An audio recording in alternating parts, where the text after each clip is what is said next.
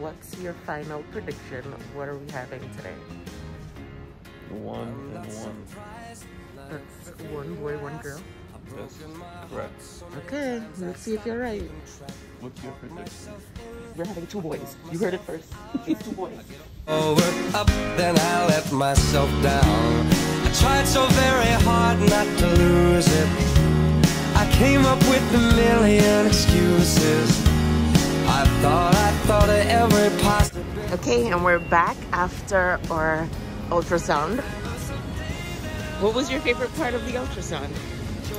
Uh, I would say my favorite part of the ultrasound was being right in regards to the baby's gender. Oh, you were right. One and one. That's one boy, one girl. That's correct. Okay. Seeing them move, Mm-hmm. Um, seeing how they, you know, how they do their thing.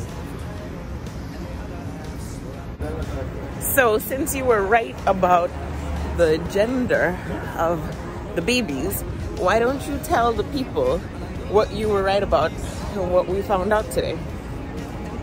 Well, we found out that they're both healthy. Uh huh. Um, you know, their beats per minute is strong. The heartbeat? They're gonna have big hearts.